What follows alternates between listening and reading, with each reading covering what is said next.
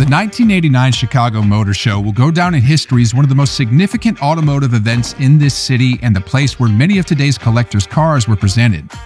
The late 80s and early 90s were a time of significant expansion of the Japanese car industry, with models like the Mazda Miata rejuvenating and redefining the perfect affordable open-top sports car concept. On the other end of the spectrum, Lexus and Infiniti burst on the scene, offering US buyers a fresh take on the luxury car concept and successfully challenging the likes of Mercedes, Jaguar, and Cadillac. All of those cars created headlines and turned the attention of the global audience towards the brand names from Japan. But on the 9th of February 1990, Honda did more than just create a buzz. When the gates of the show center opened, the audience and press saw something so advanced, cool, and dynamic that the news about the new Honda echoed like an explosion. And just like that, the sports car world was on high alert. By the late 80s, Japanese car companies were established as a global force, especially active in the sports car segment. Models like the Datsun 240Z in the early 70s revolutionized the affordable coupe class. Toyota Supra offered smooth six cylinder power and GT cruising capabilities, and back home, Skylines delivered turbocharged performance and insane handling thanks to capable all wheel drive systems. However, no Japanese manufacturer dared to attack the upper echelon European brands, companies like Ferrari or Porsche. The exotic nature of those cars, advanced technical solutions, innovative materials, and elegant designs was considered too much for primarily economy oriented Japanese brands. But on the 9th of February 1989, those prejudices vanished in thin air. Honda presented a future sports car prototype which immediately made Ferrari and Porsche obsolete and outdated. On that cold and windy morning, the automotive public was offered the first glimpse of Honda's most dedicated project, the Acura NSX concept. A low, wide, mid-engine tour de force with pop-up headlights and the wedge shape deliberately painted bright red. The sports car prototype was presented under Acura's name, Honda's luxury division, established just a few years before. Despite the fact that Honda worked on this project for a while and spy shots and magazines teased the public, the audience was genuinely stunned not just by the advanced technology, but also by the sheer beauty of the design and the elegant yet dynamic stance of the car. But before we talk about the NSX, its performance, and its success, we should explain how it came to be and tell you the story about its development, almost as interesting as its market life. The official beginning of the NSX saga was in 1984 when Honda started working on experimental chassis designs, drivetrain layouts, and innovative forms. Suddenly, the idea of a mid engine sports car appeared, and Honda knew that its high revving engines could produce sufficient power and could make a compelling case if put in a lightweight chassis. At the same time, Honda had already beaten the Europeans on the racetrack, and its legendary F1 program had resulted in six championship titles. The engineers and management agreed it was time to do the same on the street.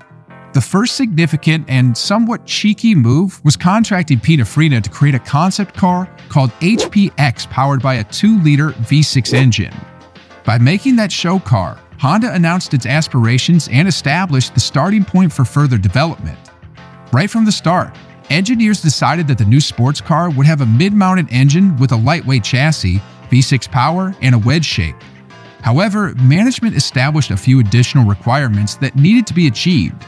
First, the car needed to outperform and outhandle any Porsche or Ferrari, and second, be perfectly usable and dependable like all Hondas are. Although it sounds contradictory, it made perfect sense since Honda wanted to show that sports cars shouldn't be a pain to own and use and that dependability wasn't only reserved for economy cars. In order to achieve all this, Honda designed the world's first all-aluminum monocoque chassis, which was equally light and robust. But the final touch on the chassis development was provided by legendary Ayrton Senna, who, at the time, was driving for McLaren Honda in Formula One. Senna instructed the engineers and helped make the chassis even more rigid. Honda invested a lot of time and resources into making the chassis perfect and even used computers in the process, which was a big deal in the mid 80s. Interestingly, the engine proved to be a more challenging choice. The HPX had a 2 liter V6 engine, but everybody knew it wasn't enough to achieve the desired performance. So, The first prototypes had a 3-liter V6 from Acura, which delivered 250 horsepower, quite the power for the late 80s standards, but the NSX needed more. Engine engineers made a 3-liter V6 with twin camshafts per bank to achieve another first in the world. They installed the famous VTEC variable valve system, which resulted in 270 horsepower and, even more importantly, an astonishing 8,300 RPM redline. The engine had titanium connecting rods and numerous improvements since Honda's management demanded exceptional dependability and performance.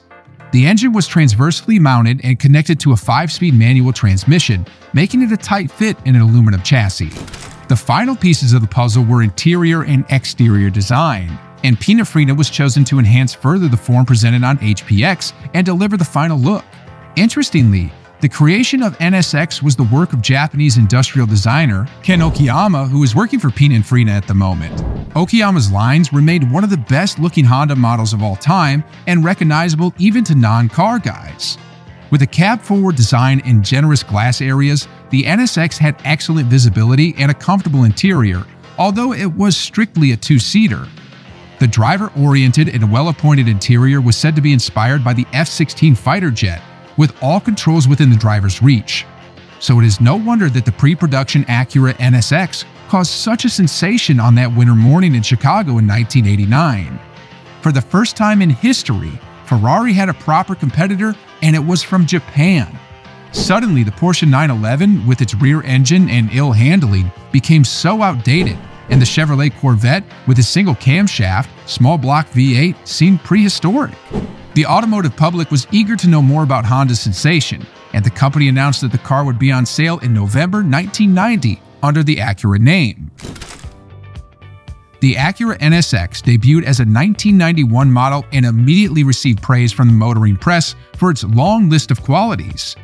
We can call it overachievement on four wheels, and it wouldn't be exaggerating.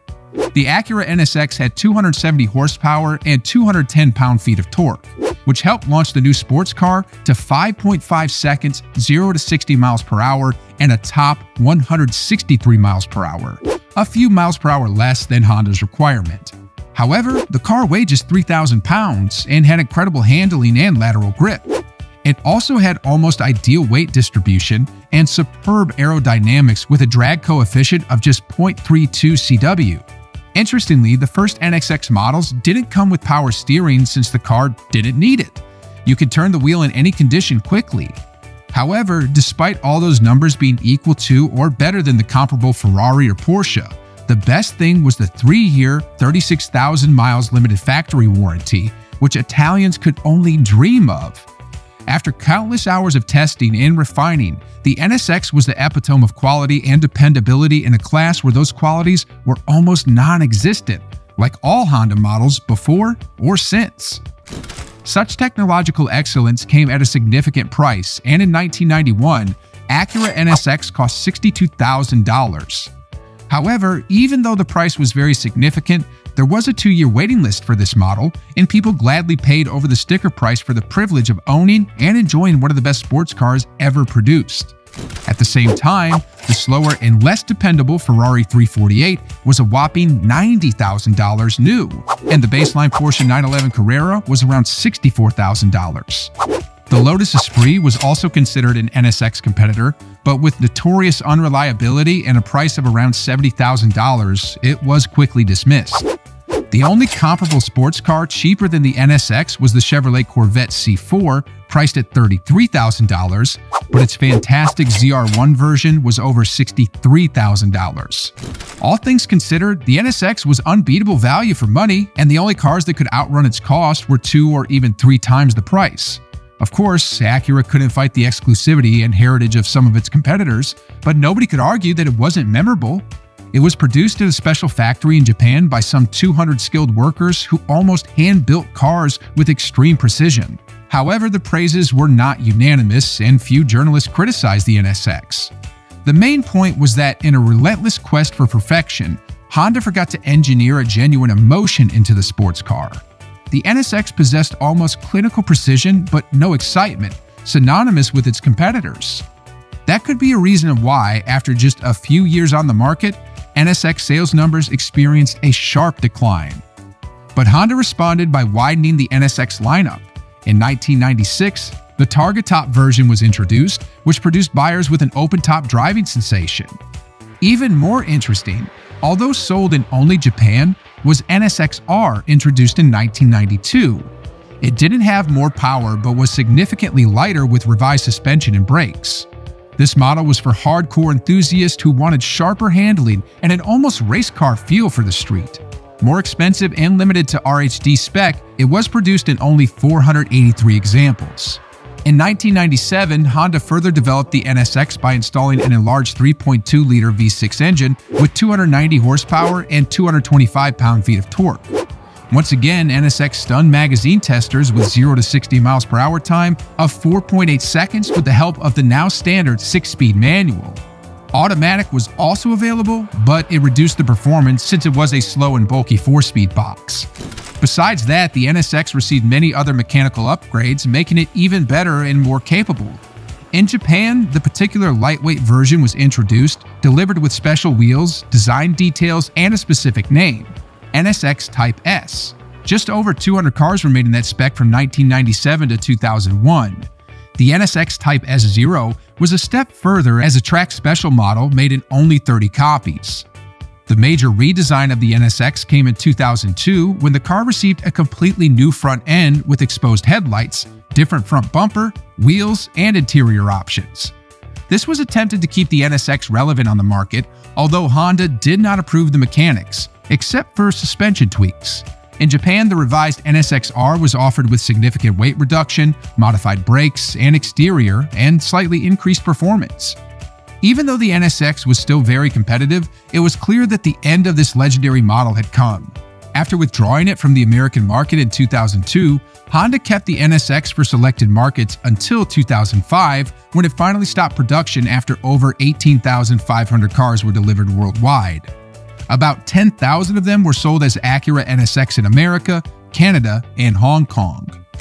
Even though the car was discontinued in 2005, NSX remained a favorite basis for racing cars for much longer. In fact, racing was a big part of NSX's narrative since it successfully competed in numerous championships and events, including the 24-hour Le Mans. The NSX in various racing specs has been a constant competitor in the Japanese GT and Endurance series for decades showing how its racing-derived construction and technology are unbeatable. The best thing that came out of NSX's racing endeavors wasn't numerous wins and titles, but the ultimate racing-inspired road-going homologation version, the NSX GTR. It had the same 3.2-liter V6, but the rest of the car was completely changed and ready to be raced. With the price of almost $500,000, it was eye-wateringly expensive, and only five were actually made. The Honda NSX saga is one of those rare moments in automotive history when the stars align and help talented people create something really extraordinary. Created by motivated engineers, developed by an F1 driver, and produced by the highest standards, the NSX excelled in every aspect. It also showed that a high price tag and legendary name sometimes doesn't mean much when pitted against dedication, precision, and passion. Even though Honda revived the NSX in 2016, it felt like it didn't follow the same principles we are still waiting for a true successor and another lustworthy Japanese sports car.